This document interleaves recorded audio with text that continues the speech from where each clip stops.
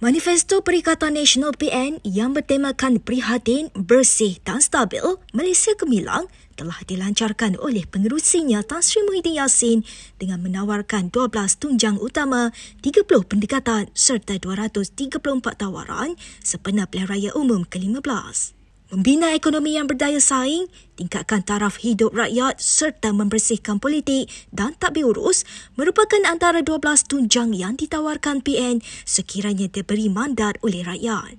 Melalui kajian-kajian yang saya, saya sendiri teliti, keperluan utama rakyat adalah tidak lain dan tidak bukan menyentuh tentang isu bread and butter iaitu isu-isu ekonomi rakyat.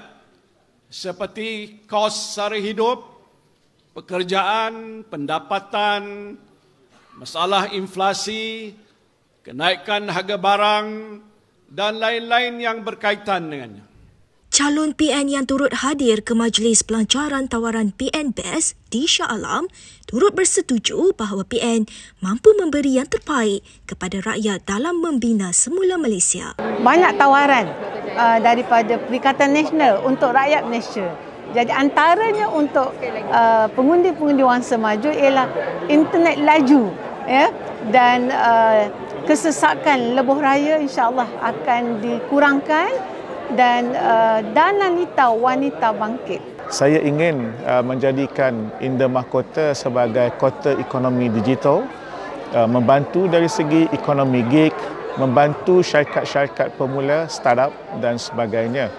Dan bagi pengusaha-pengusaha kecil, peniaga kecil ialah uh, menubuhkan pusat pengumpulan, uh, packaging dan pemasaran supaya mereka boleh memasarkan barangan-barangan tempatan uh, luar daripada indera mahkota, luar dari Pahang dan mungkin juga ke peringkat antarabangsa.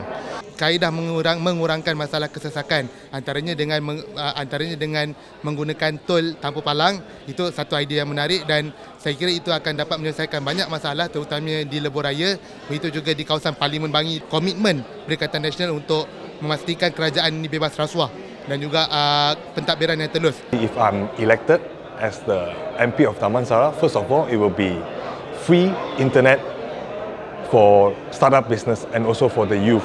Second, it will be the senator quota. It will be increased from one currently to two. One is for Belia, second is for Belia Wenis.